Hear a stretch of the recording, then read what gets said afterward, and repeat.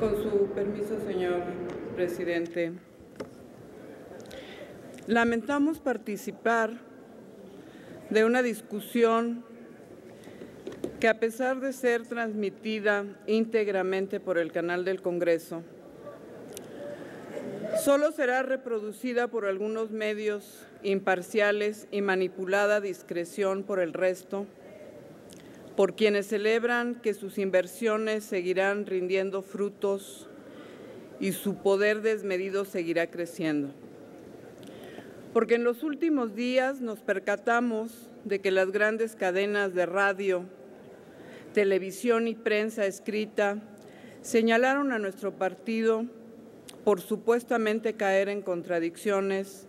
y por rechazar una reforma que beneficia a la gente. En especial nos llama la atención que Televisa, la gran beneficiaria de este proyecto, solo retomó ciertas intervenciones en el Senado, las de quienes dicen que votar en contra es estar a favor del cobro a larga distancia,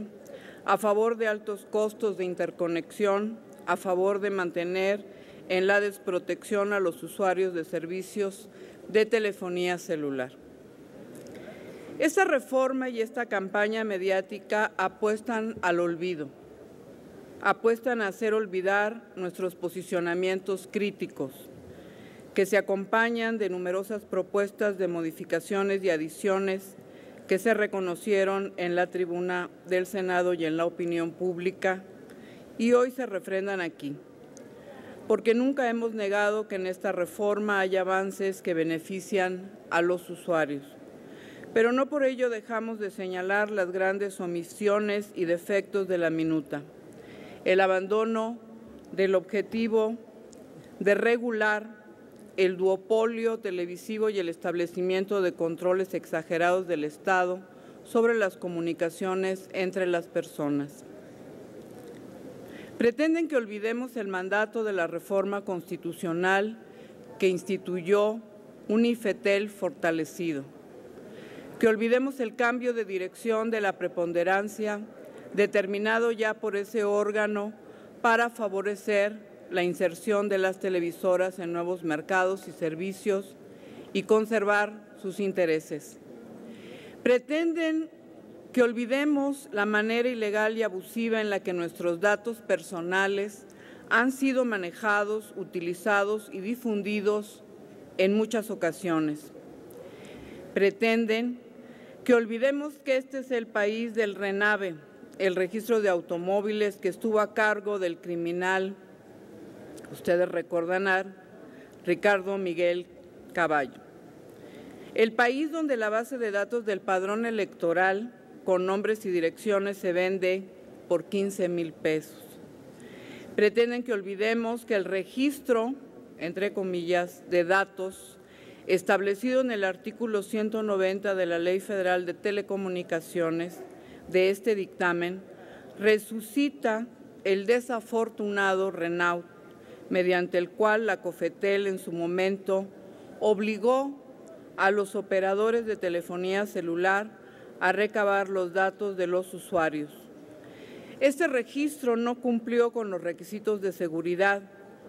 por lo que en unos cuantos días los datos estuvieron disponibles en Internet, vulnerando la privacidad de las personas pretenden que olvidemos los tratados internacionales en materia de derechos humanos y la Constitución, que establecen claramente el derecho de las personas a no ser objeto de ninguna inquisición sin antes tener una orden judicial debidamente fundada, el derecho a entablar comunicaciones privadas, el derecho al libre intercambio de información, el derecho a la protección de los datos personales, la implementación de salvaguardas jurídicas para que todo acto de autoridad que pudiera vulnerar los derechos cuente con la proporcionalidad, necesidad y oportunidad. Pretenden, en suma, que olvidemos las revelaciones que han sacudido al mundo en los últimos años acerca del espionaje telefónico y cibernético que los gobiernos y los poderes fácticos ejercen sobre millones de personas,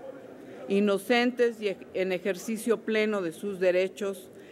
espionaje que se ha ensañado con líderes sociales y opositores como en los peores tiempos de la Guerra Fría. Presentamos reservas, esas reservas al artículo 189 y 190 para corregir la minuta de acuerdo a las reformas de avanzada en derechos humanos y en justicia penal que han comenzado una nueva época de nuestra Constitución. El principio pro persona y la progresividad deben ser los criterios de toda acción legislativa, garantizando la protección más amplia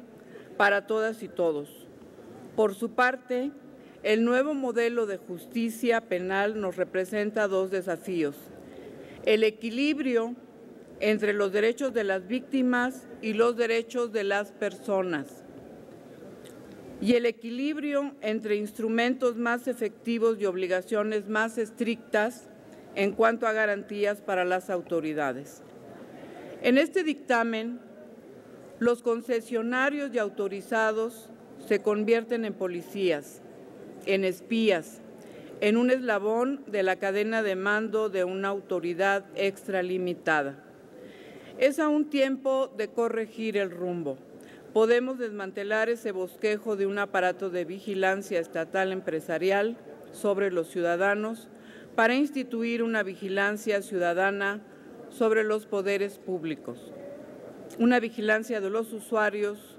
sobre las empresas. Por ello proponemos reestructurar los artículos 189 y 190 para eliminar el registro de datos, para establecer el requisito de la orden judicial para cualquier solicitud de informes sobre las personas y para castigar adecuadamente todo abuso en la colaboración de